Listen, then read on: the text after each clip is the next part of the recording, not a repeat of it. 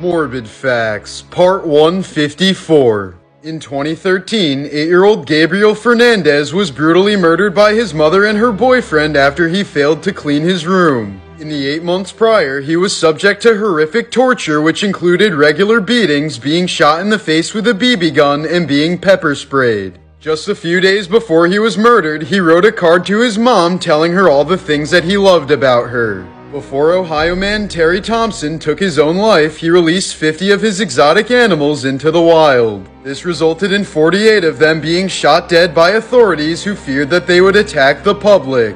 Just minutes after this photo was taken, this heroic puppy died from the venom of the cobra he killed. Though he was in pain from the venom, he smiled knowing that he prevented the dangerous snake from entering his family's home.